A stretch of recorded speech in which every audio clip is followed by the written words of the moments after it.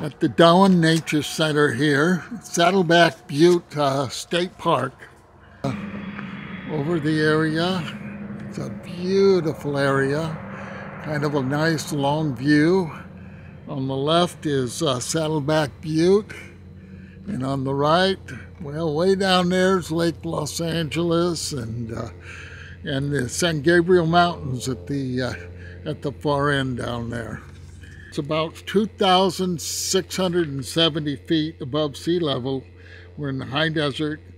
Um, extreme heat, sub-freezing temperatures, local wildflowers, animals have adopted and adapted and survive in this region. So this is kind of a neat place. It's been uh, made so to help the animals survive and and exist and and because the encroaching uh, civilization on them. And there's the little uh, nature center, visitor center, and an outcropping of rocks ahead. And uh, and uh, it says sand here from the strong winds, and we can see that just kind of below us, a little bit of a sandy area, but that's okay. That's pretty normal. And up here in the desert, we see that a lot when the wind blows, and it's strong. So, so there you go.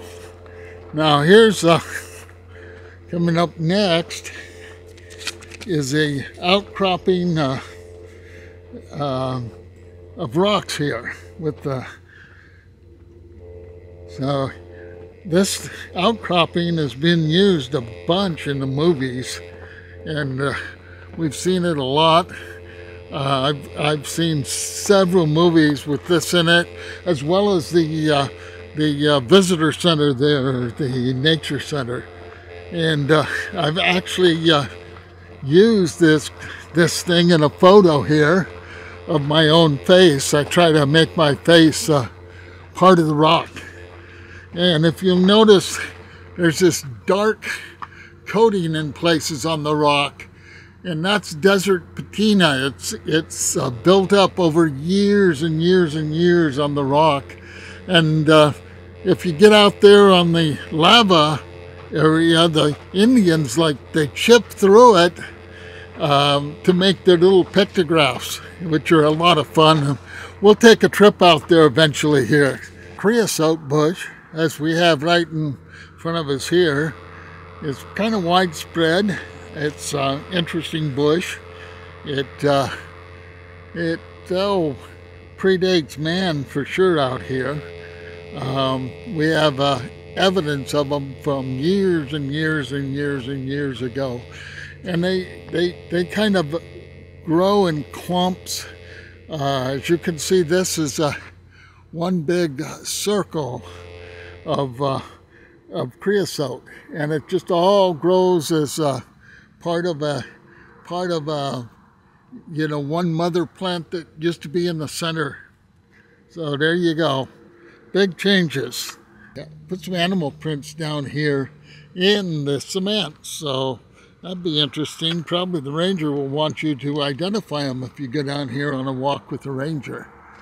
So anyway, it's a nice walk today.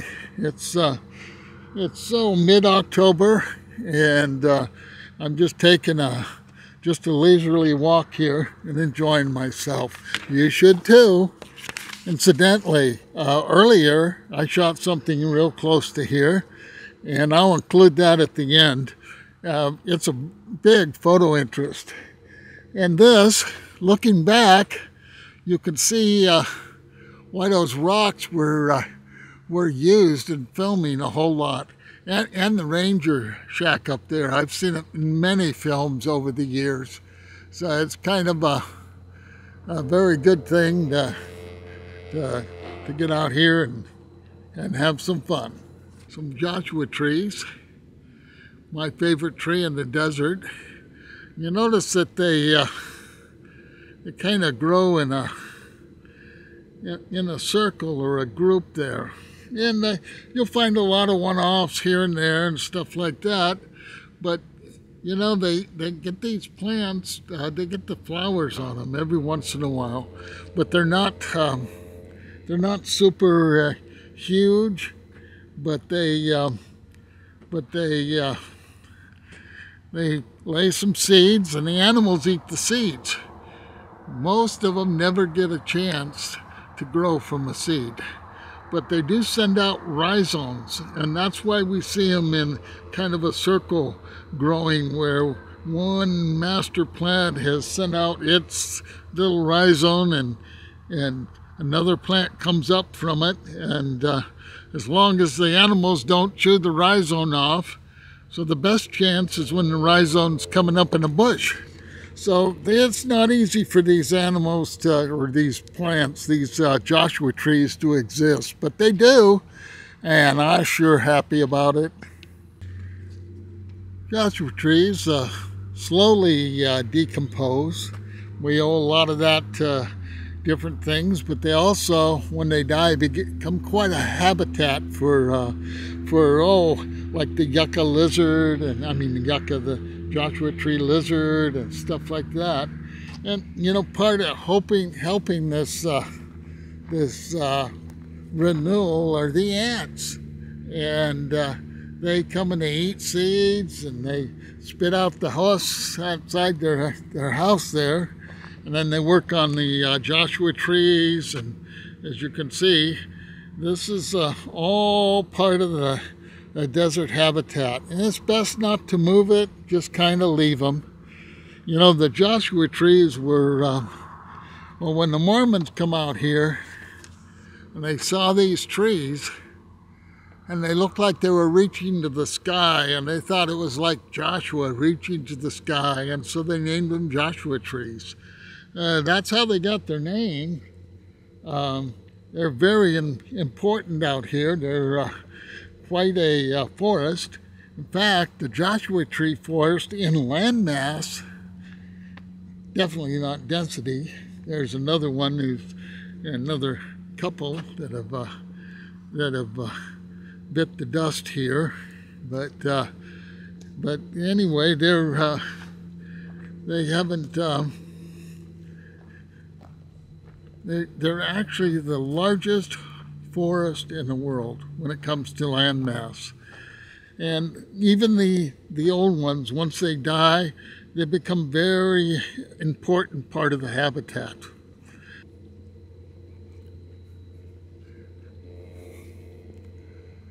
The interesting thing about these uh, Joshua trees is when they bloom, the branch splits, and that's what causes them to branch out into several branches. Sometimes only one grows out of the out of the bloom, but a lot of times two branches grow out of the bloom.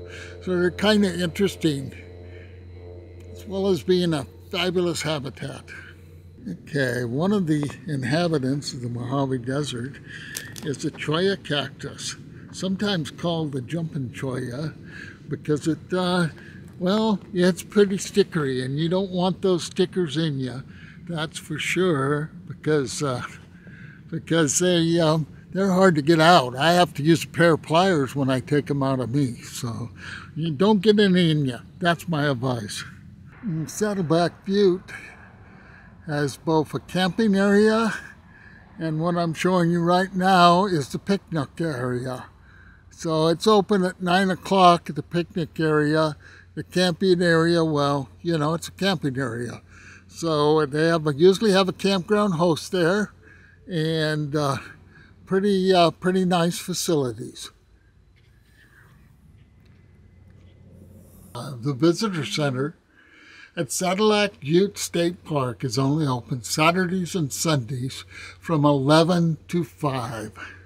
As a bonus, just across the street from the Saddleback Butte State Park is an old building. And this building was built by producers, of what I'm told. Had a giant picture window looking out over the desert and a huge fireplace for entertaining.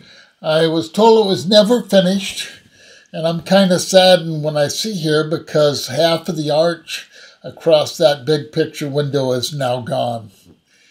So, it's just uh, it's pretty graffitied up too, and a lot of trash. Now, Elephant Rock isn't too far away, and it's a, always a pretty interesting rock to look at, and it's easy to find because it is uh, right across the street from the Kill Bill Church. Hey, thank you for watching.